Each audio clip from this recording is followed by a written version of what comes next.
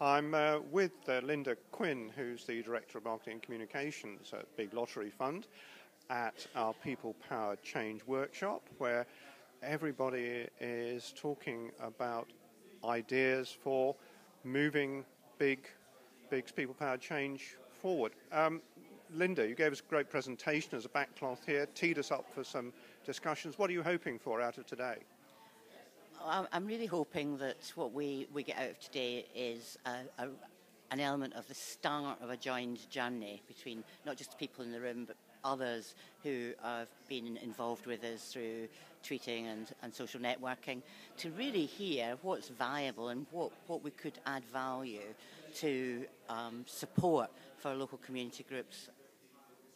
I think the key theme here is what can uh, Big Lottery do more than funding, which is terrifically welcome. But I think you want to encourage sharing of experience, learning between those got, that have got grants, maybe even those that haven't.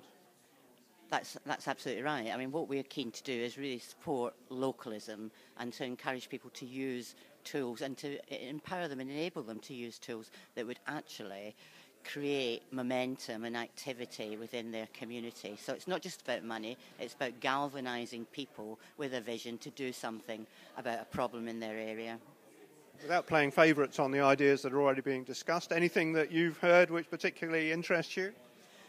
all of them, I think, are, are, really exciting. I'm particularly interested in how uh, people share and join up, and how you take an idea that might be very local, but has resonance well beyond that community, identify it and scale it up. So there's, there's lots of different things. I'm interested in how we can use apps in a better way that would enable people to understand how they could access funding and how they could act, how they can do things in their community.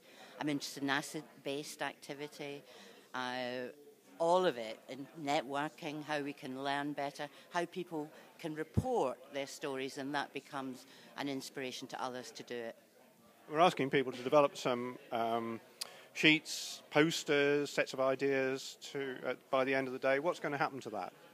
Well, we're going to hoover it all up, look to see what really great ideas are there, post it back to the people who have developed the ideas together today, share it publicly and transparently on the web, identify collectively with the people in the room what are the best ideas that we would really like to take forward to our uh, committee to see what appetite there is to begin to use these ideas and to develop them as part of our aspiration for how we fund in 2012 2013.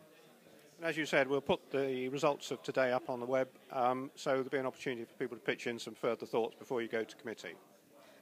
Absolutely, there will, and I would encourage everybody who has a grain of an idea to really engage with us because this is a real opportunity for people together to help co design what we might do next.